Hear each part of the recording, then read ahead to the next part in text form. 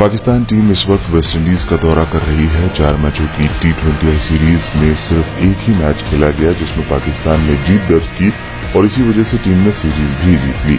अब सारी निगाहें टेस्ट सीरीज़ पर जम गई हैं, जो कि 12 अगस्त से शुरू होने जा रहा है। पाकिस्तान और वेस्टइंडीज के बीच दो मैचों की टेस्ट सीरीज़ खेली जाएगी। सीरीज़ का पहला टेस्ट मैच 12 से 16 अगस्त के बीच किंगस्टन सवेना पार्क में खेला जाएगा। इस सीरीज़ के लिए वेस्टइंडीज क्रिकेट बोर्ड ने सोमवार को पाकिस्तान के खिलाफ दो मैचों की सीरीज़ के लिए सत्रह सदस्यीय टीम का ऐलान भी कर दिया था। वहीं बात करें पाकिस्तान टीम की तो टीम में कई शानदार खिलाड़ी हैं और सीरीज़ में अपना दम दिखाने को भी तैयार हैं। पाकिस्तान की टेस्ट टीम में कई बड़े नाम वापस आ चुके हैं और दो मैचों की छोटी सीरीज़ में अपना जलवा दिखाना ज़रूर चाहेंगे। पिछली बार 2017 में पाकिस्तान की टीम ने यहाँ सीरीज़ खेली थी, जिसमें दो एक से टेस्ट सीरीज़ अपने नाम की थी।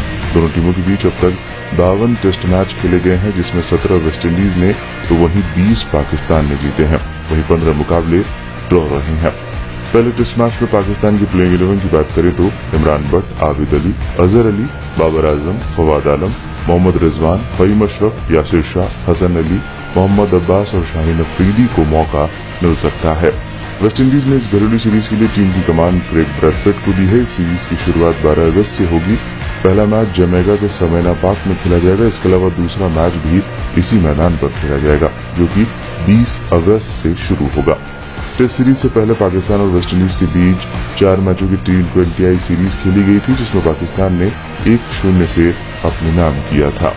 इस सीरीज़ में तीन मैच बारिश और खराब मौसम की वजह से रद्द करने पड़े थे। इस बीच दोनों टेस्ट मैच जमैका के समेना पार्क में खेले जाएँगे। पहला गेम 12 अगस्त से शुरू होगा, वहीं दूसरा मैच 20 अगस्त से। कैरिबियाई टीम के पास निश्चित रूप से पॉइंट्स हासिल करने का अच्छा मौका होगा और टीम अच्छा प्रदर्शन हाल फ़िलहाल में नहीं कर पाई है और इसे ज़रूर बेहतर करना चाहेगी।